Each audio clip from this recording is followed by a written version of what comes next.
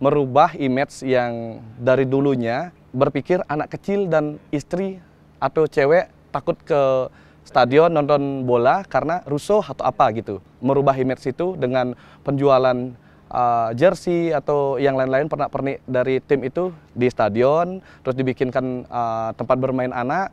Itu untuk menggabungkan semuanya itu image-nya jadi ramah lingkungan lah semuanya gitu.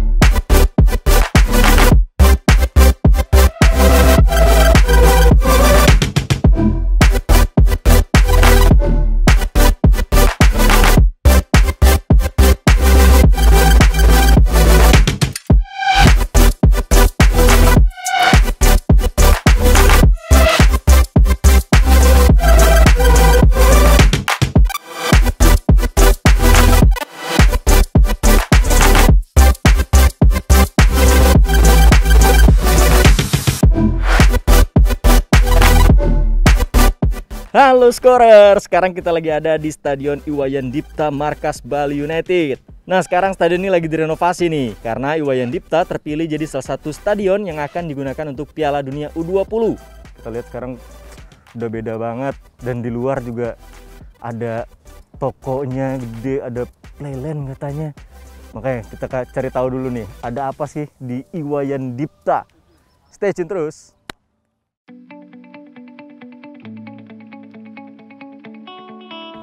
Nah, pada awal tahun 2020, Stadion Iwayan Dipta terpilih jadi salah satu venue untuk ajang Piala Dunia U20.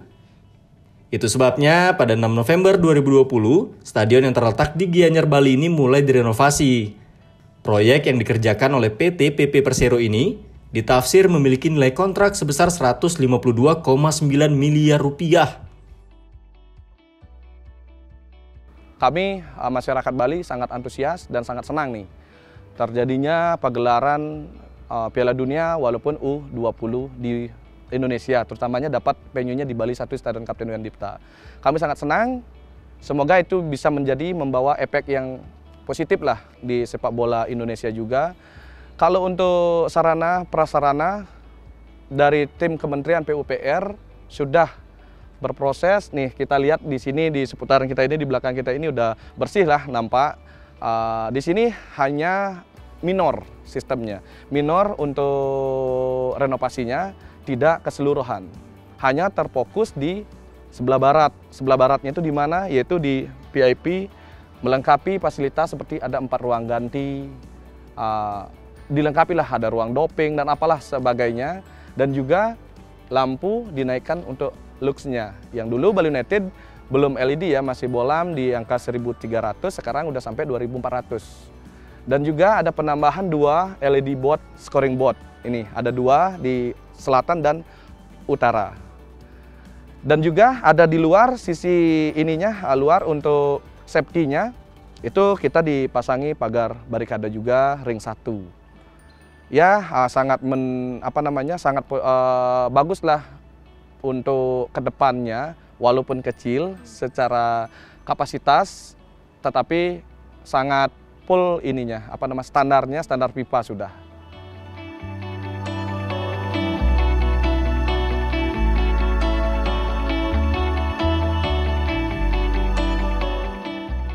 Tidak hanya hasil renovasi, fasilitas lain yang ada di Stadion Iwayan Dipta juga sangat menarik. Apalagi ada Bali United Playland untuk anak-anak. Bali United uh, sangat istilahnya mempedulikan supporter ya, supporter dan merubah image yang dari dulunya. Kalau orang kan berpikir anak kecil dan istri atau cewek takut ke stadion nonton bola karena rusuh atau apa gitu.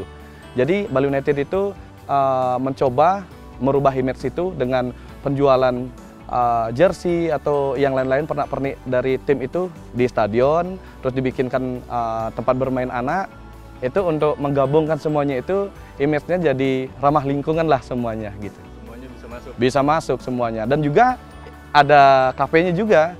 Jadi setelah bermain, mungkin keliling-keliling stadion, bisa nongkrong, langsung view-nya di lapangan bola. Tidak ada kan, belum ada nah di Indonesia. Gimana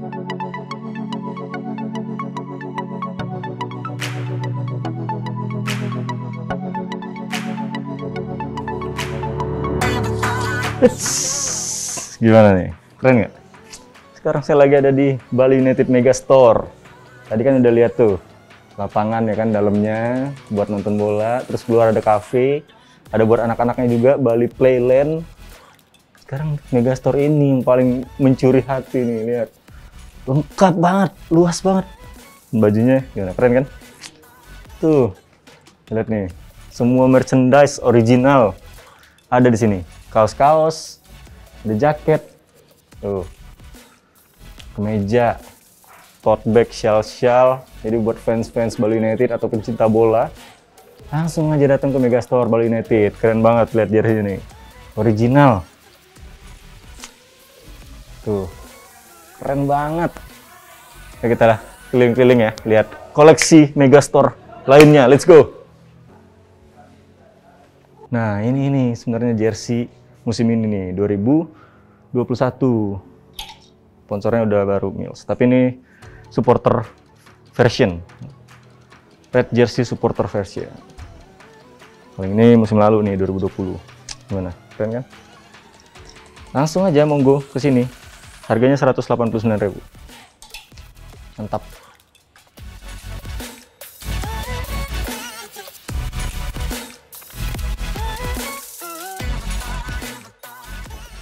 Eits, tapi bukan cuma buat fans bola.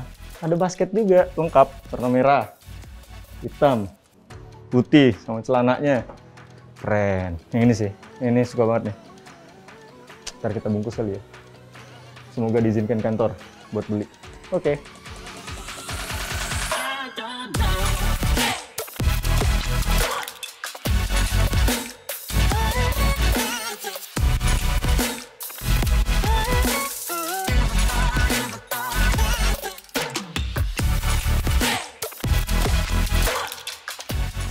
Nah, gimana Stadion Iwayan Dipta? Semuanya ada, udah kayak one stop entertainment.